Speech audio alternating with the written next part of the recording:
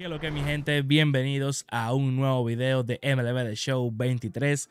En esta ocasión tenemos un video para ayudarlo a ustedes, a los más nuevos en el juego, a cómo batear mejor en MLB The Show 23. Espero que les guste este video, denle like, suscríbanse al canal, activen la campanita para yo seguir creciendo aquí y llegar a esa meta de los 100 mil suscriptores que ya está a la vuelta de la esquina. Este video no es para los que son pro, estos son para las personas nuevas que quieren saber cómo activar el PCI, qué cámara poner, cómo ponerla. Así que ya saben, si ustedes son unos pro del juego, este video para ustedes no le va a saber a nada. Así que ya ustedes saben mi gente, vamos a empezar con el video. Activen esa campanita, denle like, suscríbanse y los veo cuando estemos en el menú principal. Ya aquí en el menú principal del juego, mi gente, nos vamos aquí al apartado de las prácticas personalizadas. Le dan ahí, eligen el equipo que ustedes quieran. Por ejemplo, en mi caso me voy con los Yankees. Los Yankees versus Houston, no importa. Cogen cualquier estadio, me quedo con el de Houston y entramos a la práctica. Como pueden ver, ya estamos aquí en la práctica lanzando Framble y bueno, bateando Gleyber Torres. Vamos a entrar a las configuraciones dándole a Option o Start en su control. Nos vamos a Option, nos vamos a Gameplay y aquí vamos a encontrar lo siguiente.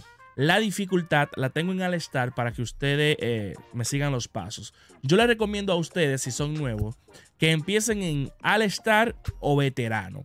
Si Veterano se lo encuentran muy fácil, que se queden en All Star. Si se encuentran que All Star es muy fácil de batear, pues pónganlo en Salón de la Fama. Yo les recomiendo que vayan como que superando cada dificultad. Porque si empiezan de una vez ustedes que son nuevos, en Legend, la pelota va a venir demasiado rápido y ustedes no van a poder batearla. Así que les recomiendo que empiecen en All Star o veterano. La vamos a dejar en All Star. Si nos vamos un poquito aquí al R1, vamos a encontrar la cámara de bateo. La cámara de bateo aquí, como están viendo, la tengo en Strike Zone. Es la cámara más utilizada por las personas que se dedican a jugar este juego, a ser competitivo. Y yo se la recomiendo porque es muy buena. Sí, es la siguiente. Por ejemplo, ustedes ven que se ve la zona de strike y un poquito el bateador. Si a ustedes no les gusta esta cámara, ya que ustedes quieren ver al bateador, pues ustedes pueden cambiar la cámara dándole ahí a Option, Gameplay y donde encuentren esto, que es el Hitting View, le dan a, por ejemplo, es Zoom. Le dan a aplicar y cuando salen ya tienen la cámara donde el bateador se ve completo y ustedes pues aquí van a disfrutar el partido desde otro ángulo. Entonces yo me voy a mi configuración, que es la de Strike Zone. Puede ser también Strike Zone 2, que está un poquito más eh, como que alejado de la zona de strike. Pueden ver que el bateador se ve un poquito más. Vamos a dejar esta por el momento. En este apartado aquí, señores, de control, para batear, les recomiendo que tengan activado los botones para que ustedes puedan batear al círculo, a la X o al cuadrado. Aquí en Hitting Interface les recomiendo la SOM, señores. Nada de direccional, nada de timing. Si ustedes quieren batear y ser unos monstruos y comerse el MLB de show. Aquí en PCI Anchor, esto yo lo tengo desactivado, pero ustedes lo pueden activar. Esto es para ustedes dejar fijo el PCI en una zona. Por ejemplo, lo vamos a activar. Como pueden ver, si presiono el L3, presiono la campanita, el PCI lo pongo en este lado y se mantiene ahí. No necesariamente eh, se tiene que quedar en el centro como lo normal si tú no tienes esto activado. Si por ejemplo tengo problema con estar llevando el PCI al aquí a, pegado, pues yo lo mantengo un poco cerca de pegado, como pueden ver. Ahí yo no tengo la mano mía en la palanquita, por ejemplo en este caso, y el PCI se queda pegado de mi bateador. Esto es para que ustedes puedan poner el PCI en lugares donde ustedes tengan más como debilidades para moverlo y así lo mueven un poco más rápido hacia donde tienen esa debilidad. Aquí, señores, esto es lo del Anchor. El PCI, que viene siendo lo que yo tengo en la zona de strike, el batecito. Esto es el PCI. Mientras mejor ustedes pongan ese PCI, ese circulito que está en el medio, bueno, no en el medio, sino ahí en el grueso del bate, ese circulito, Mientras más ustedes lo acerquen a la pelota y que quede más cerca y ustedes hagan un buen swing, o sea, que no sea tan adelantado, tan atrasado, van a tener un mejor resultado a la hora de batear. Eso es la práctica, señores. Mantenerse ahí tratando de meter la pelota en el circulito amarillo. Pero no solo tenemos este PCI. Ustedes pueden cambiar este PCI. Yo tengo el, de el del bate porque es nuevo en MLB The Show 23 y lo estoy probando. Ustedes para cambiar ese PCI del batecito tienen que tener esto activado. El Plate Coverall Indicator, que es el PCI abreviado. El centro es el batecito. Puede ser que ustedes encuentren esto en Diamond. Por ejemplo, así que solo sean como estos tres diamantitos. Y si ustedes quieren poner el bate, lo que tienen que hacer es irse a ese apartado, ¿verdad? Y donde dice centro, PCI centro o center, lo ponen en bat. Y ahí saldrá el batecito, como lo pueden ver. Entonces, no solo tenemos los diamantes, no solo tenemos lo que viene siendo eh, el batecito, también tenemos unos puntitos o circulitos. Vamos a ver si se quedó. Aquí lo tienen también tenemos lo que viene siendo el PCI, yo le digo así, de afuera, que es lo siguiente. Aparte de los circulitos, le podemos agregar lo siguiente. Por ejemplo, esto. Pueden ver que ahora en vez de tener solo lo del centro, tenemos lo que está en el lado derecho e izquierdo como eh, paréntesis, vamos a decirle así.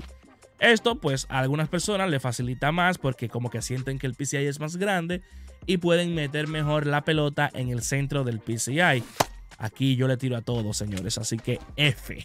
Entonces, señores, eso es lo de el PCI. También al PCI podemos cambiarle el color. Ustedes están viendo que yo lo tengo en amarillo. Aquí dice yellow. Aquí lo ven, que dice yellow. Yo lo puedo poner blanco. Aplicamos el cambio y ahora se ve blanco. ¿Entienden? Si quieren ponerlo rojo, pues buscan el color rojo aquí debajo. Por ejemplo, rojo.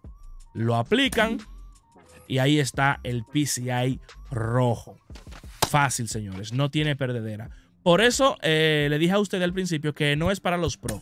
Esto es para las personas nuevas que quieren saber cómo poner el PCI, cómo quitarlo, cómo ponerle el color diferente, que muchas personas lo, piden y así sucesivamente. También pues le daré su tip para batear mejor. Claro, que no es que solo dándole lo principal.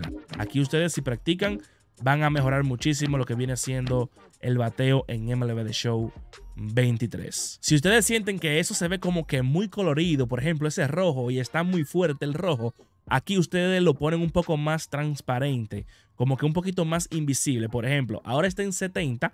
Si yo lo bajo, por ejemplo, a 20, pueden ver que casi no se ve. Se ve como que casi transparente. Y eso pues a algunas personas cuando está muy como que rojo o muy blanco o muy amarillo lo tiende a como que distraer y bueno aquí con esta opción ustedes pueden bajarle la intensidad. Supongamos que ustedes tienen el PCI eh, con el paréntesis y lo del centro. Pero ustedes quieren que cuando ustedes vayan a batear, lo del lado se quite y solo se quede lo del centro. Pues eso ustedes lo pueden programar aquí en el fade out o como lo que se desaparece, digámosle así. Vamos a hacer que se desaparezca lo que está al lado. Vamos a ver, lo ponemos. Esperemos que venga el picheo y como pueden ver los paréntesis se han quitado y queda todo libre para que solo quede el centro. No solo está el paréntesis y está el centro, aparte también está lo que viene siendo el otro paréntesis que está más afuera y hace que el PCI se vea más grande aún. Vamos a mostrarlo. Aquí donde dice PCI Howler, ustedes pueden cambiarlo como ustedes quieran encontramos el que yo siempre uso, que es el reverb, como pueden ver aquí. Ahora está el centro, el paréntesis y los otros paréntesitos, digámosle así, que están pegados, tres aquí y tres aquí. Ahora, como yo lo tengo así, en la configuración que le puse, se desaparecen los dos paréntesis y se queda el centro. Perfecto. Hasta aquí vamos claros, señores. Todo el mundo entró a este video porque quiere saber cómo batear mejor. Lo que yo les recomiendo a ustedes es que entren aquí al Custom Practice, como ya les mencioné, pongan la dificultad que ustedes como que dominen un poquito más y se pongan a practicar aquí, a ver picheos, a ver picheos. Por ejemplo, cada quien tiene su mañita a la hora de usar el PCI. Yo le doy vuelta, lo pongo un poquito abajo y trato de seguir la pelota con el PCI. Aquí pues me le metí debajo y un swing un poquito atrasado. Entonces ustedes tienen que entrar aquí y ponerse a batear. Por, por lo menos dedíquenle una hora al día y no le va a hacer nada mal. Mejor le va a ayudar muchísimo a ustedes a la hora de batear. Ustedes empiezan aquí con Framber Valdez, por ejemplo, en este caso. Aquí ustedes van a tener también visión, van a coger su visión, porque ustedes van a conocer lo que es la zona de strike. También aprender dónde ustedes mueven mejor el PCI. Uf, a esa le dimos bien y nos le metimos un poquito debajo. Por ejemplo, en mi caso, yo con el PCI me siento cómodo poniéndolo un poquito abajo o un poquito en este lado cuando es un lanzador zurdo. Así yo sigo mejor la pelota. Si yo, por ejemplo, pongo el PCI y digo que, que lo tengo aquí me siento incómodo. Entonces ustedes tienen que buscar la forma de tener el PCI que ustedes se sientan cómodos. No que porque ustedes conocen a un streamer que es top 50 y lo usa de que aquí ustedes dicen que lo van a poner aquí porque él lo usa así y es buenísimo. No, es donde ustedes se sientan cómodos. Al igual que la cámara de bateo. Por ejemplo, yo tengo esta cámara ahora mismo que es Strike Zone Strike Zone. No porque yo la uso o la uso un top 50, ustedes tienen que usarla, pero es la más recomendable. Si ustedes se sienten incómodos con esta cámara que se ve como que muy pegada a la zona de strike, cámbienla. Busquen con la que ustedes se sientan cómodos y no se lleven de que, fulano usa aquella. Pero esta es muy recomendable para reaccionar a los picheos. Y como les estaba diciendo, ustedes entran aquí. Por ejemplo, Framber Valdez aquí está tirando lo que él quiera, por ejemplo. Si ustedes quieren empezar bateando recta, ustedes se van aquí a opción, los tipos de práctica, el bateo, ¿verdad?